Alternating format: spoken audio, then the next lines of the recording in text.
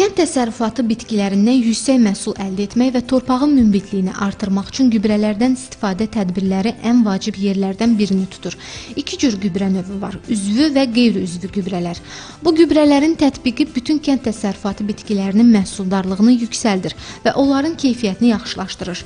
Bu maddədən səmərəli istifadə bitkilərdə şəkərin, nişastanın, yağların, zülalların və vitaminlərin miqdarını artırır. Aqronomlar deyir ki, gübrələrin ümumi funksiyası funksiyası bitkinin torpaqdan əldə edə bilmədiyi qida maddələrini xaricdən təmin etməkdir.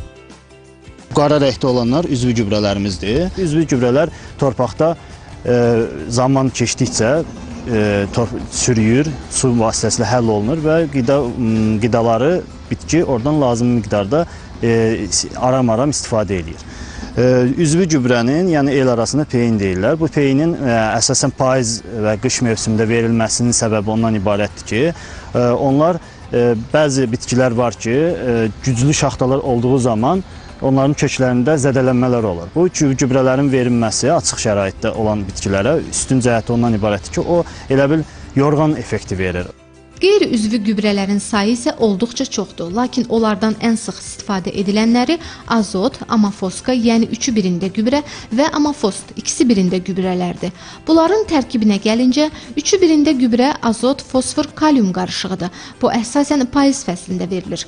Azot gübrəsi yaz başlayandan payıza qədər avqustun 15-nə kimi verilməlidir.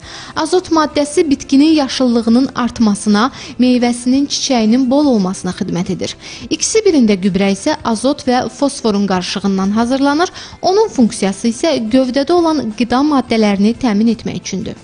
İldə iki dəfə gübrələmə işləri aparırıq. Yaz, payız aylarında. Yeni-yeni bitkilər, yeni-yeni növlər gətirilibdir. Biz buna görə də ə, ən çox da bardur bitkilərinə hal-hazırda veririk bunu, yeni bitkilərimizə.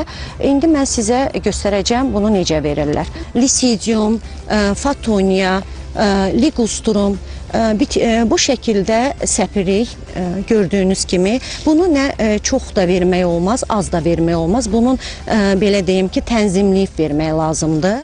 Səpindən əvvəl gübrələr bir qayda olaraq dərin şum altına verilir. Bu bütün vegetasiya dövründə bitkilərin qidalanmasını təmin etmək üçündür. Hazırda mən də bitkilərə gübrə verəcəm və gübrə vermək üçün e, vətənin Yaponiya olan Pitosforum bitkisini seçdim. Pitosforum bitkisi adətən bəzək bağçılığında dekorativ bitki kimi istifadə olunur. Rayonlarda, parklarda, yollarda, bardurların kənarlarına əkilir. Yüksək məhsul götürmək və onun keyfiyyətini yaxşılaşdırmaq işində gübrə maddəsinin böyük əhəmiyyəti var. Hər bir təsərrüfatçı gübrələrdən daha yaxşı və necə istifadə etməyə nail olmaq üçün müəyyən təcrübə toplamalı və yeni üsullardan istifadə etməlidir. Gülnar İlqar qızı Emin Tağıyev Telesəhər